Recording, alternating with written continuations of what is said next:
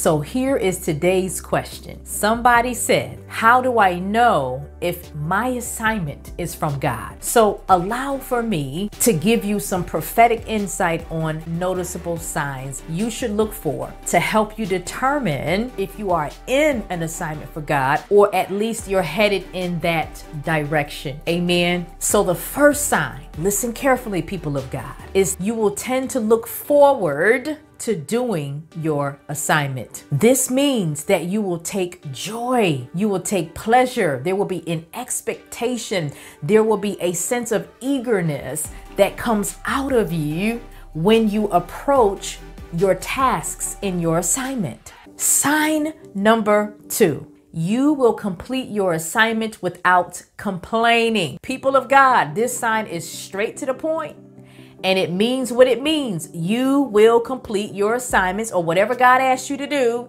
without complaining.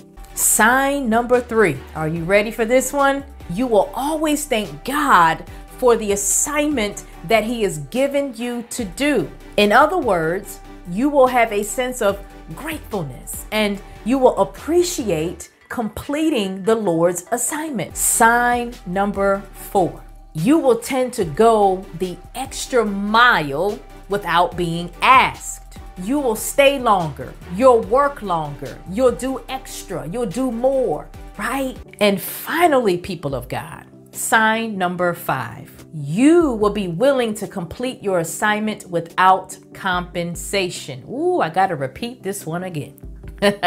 you will be willing to complete your assignment without being paid for it. In other words, you would enjoy your assignment so much. Why? Because first, you know that your provision comes from God, but also because there is a passion in your heart to do what you do because it doesn't necessarily feel like a job.